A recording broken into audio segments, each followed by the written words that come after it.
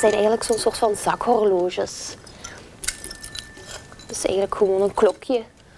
En ze mochten zelf kiezen welke vorm en hoe, welke manier dat ze de cijfers erop gingen zetten. Kathleen en Veerle van de Academie bouwen een tentoonstelling rond tijd op in de Biep van Bree. Tijd is het centrale thema waar de Biep dit voorjaar rondwerkt. Aan de hand van dit boek hebben wij uh, gewerkt uh, voor de tentoonstelling hier in de bibliotheek.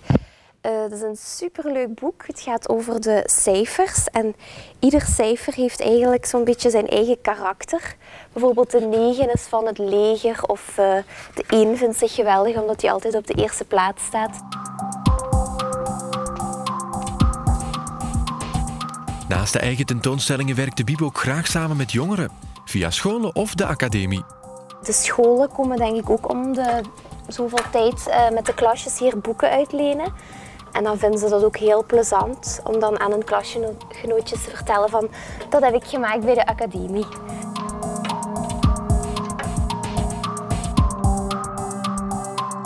Ja, de kleine kinderen die hebben dan gewoon erin gekrast en de oudere kinderen die proberen dan met uh, Romeinse cijfers en, en van die dingetjes allemaal.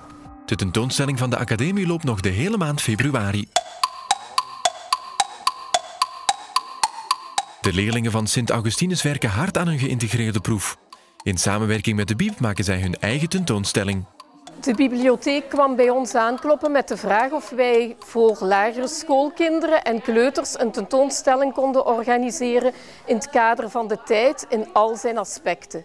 En wij zijn daar dan rond gaan samenwerken met zes verzorging en zes sociale en technische wetenschappen. Ik, ik zou graag hebben ofwel een houten ofwel een kartonnen, maar ik heb dat bij de anderen ook gedaan. Dan is door heel de tentoonstelling, en te kijken van bij ons uit, is dat overal een karton of een houten bakje, daar zit het spelletje in wat de kinderen kunnen doen. Dus voorzie zo'n oud bakje, zet daar een kleurtje op of zo en dan zet je al de voorwerpen daar maar in. Ik denk zeker dat dit een win-win situatie is. Wij leveren het materiaal voor de tentoonstelling aan de bibliotheek en leerlingen worden geprikkeld omdat dit leven echt leren is. Ze werken naar een doel toe, uh, ze gaan daarmee naar de buitenwereld en ze ervaren dit echt als een zinvolle opdracht. We zijn een tijdlijn aan het maken voor ons uh, project en we zijn uh, speelgoed door de jaren heen bezig. En er staan dan zo de namen op van wat het is, de jaargetal en de uitleg erbij.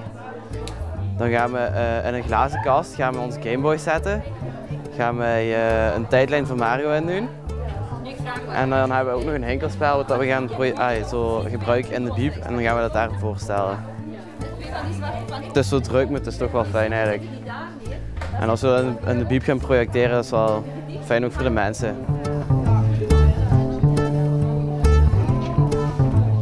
Ze leren vooral um, samenwerken met elkaar. Dat is toch wel een hoofddoelstelling die ze uh, door deze opdrachten doen. Uh, ja, leren.